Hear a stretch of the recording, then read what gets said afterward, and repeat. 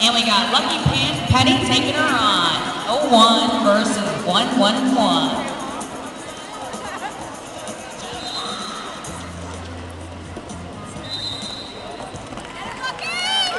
And we're off. And it looks like someone dance in the front getting through. And Lucky Penny's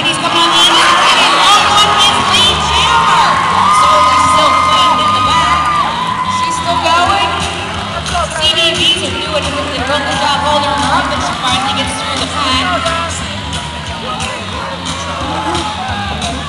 Here comes. She's going to try to get through and get some points before Shortly comes up.